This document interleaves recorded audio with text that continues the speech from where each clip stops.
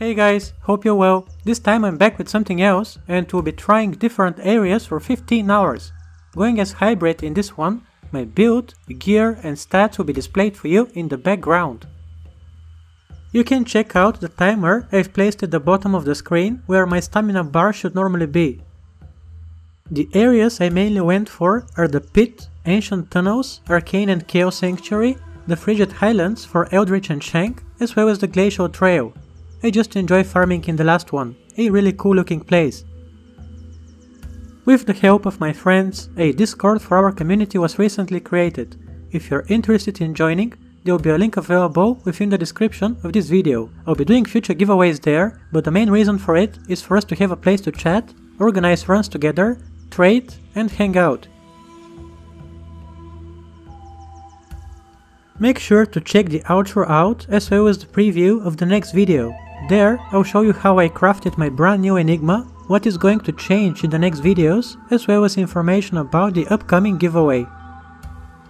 If you enjoy the content, make sure to hit the like and subscribe buttons. Also, sharing is caring, please consider doing so, it makes a huge difference. Thanks for bearing with me until now it's time to jump straight to the highlights.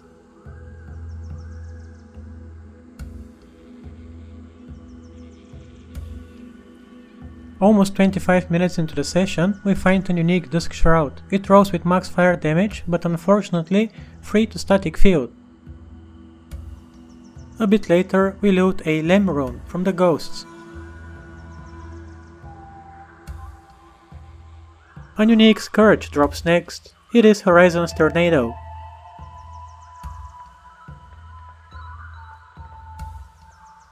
Inside the Drifter Cavern, we find our first unique ring. It's a 24 MF Najo.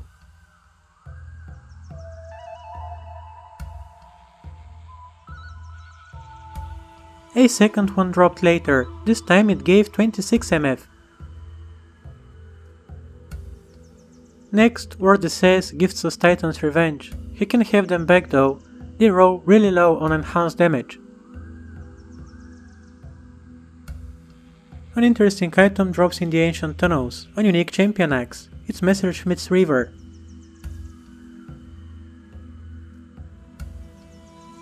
Then a rare helm for druids that gives you two elemental skills, decent resistances, as well as mana and HP. Hard to find a better one to use while leveling. An urn inside the ancient tunnels drops us Thunderstrokes. We found two pairs, this one with low skills and nice enhanced damage,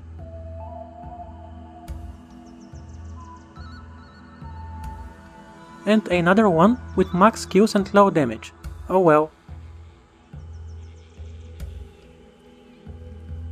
Next noteworthy drop is Trang-Oul's Helm, found within the Chaos Sanctuary. We also found the offhand in the armor during this session. I'm actually thinking about creating a Poison Nova Necro soon, so these might come handy.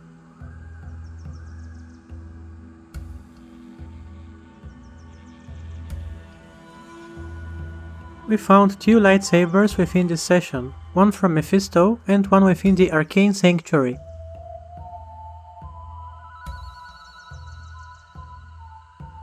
Now we loot our first unique amulet, it ends up being the Rising Sun.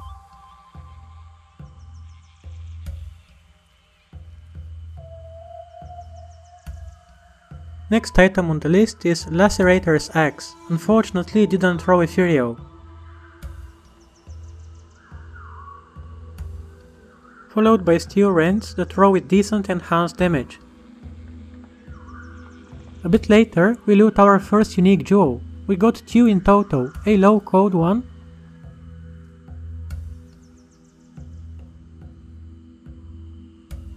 and a fire one with low reduction and max damage. Next we get a rare axe, the Executioner's Justice.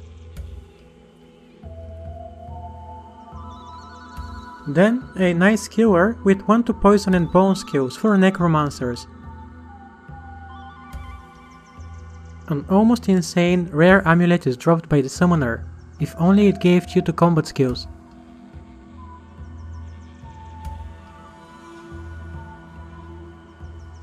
Another good item drops in the pit, a unique wire fleece. It's the Gladiator's Bane. Next, a treat for every barbarian who wished they wrote a druid instead, the Wolf Howl. Now we get a decent base for the Enigma rune word. Last item for today is Reaper's Toll. It doesn't throw a Ethereal, but I've already got one that did. A list of all the items we found will be displayed for you now. I have to say I'm really disappointed. I couldn't find a single high rune after spending so much time. I guess it just wasn't meant to be. About the giveaway, please join the Discord where you'll be able to find the list of available items within the giveaways channel. If you want any of them, send me a personal message on Discord with your Battle.net tag as well as a list of the items you'd like to participate for. The winners will be selected on Thursday, while the items shall be given away within two days, Thursday and Friday. 15 items in total will be given away. Some of them are Shako, the Herald of Zakarum, Oculus, Immortal King's Armor and Andariel's Visage. There will be other ones as well, a few of them will be available more than once.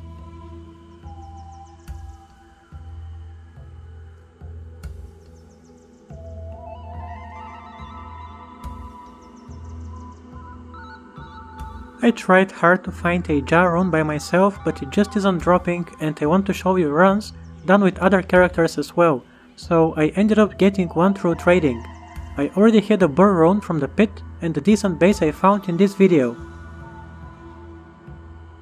Time to assemble it. This is the item I've been looking to get since I started playing, as you know it opens doors to all sorts of possibilities. I already have a couple in mind that I can't wait to try. Ideally, I would have wanted to gather everything by myself, but farming with only one class is not ideal neither for me nor for you guys, as I imagine you'd find some variety much more entertaining.